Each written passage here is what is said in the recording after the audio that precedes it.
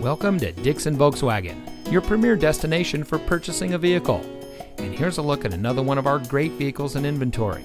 And comes equipped with leather wrapped steering wheel, tire pressure monitoring system, steering wheel controls, Sirius XM satellite radio, keyless entry, electronic stability control, heated front seats, air conditioning, 8 speaker audio system, traction control, and has less than 45,000 miles on the odometer.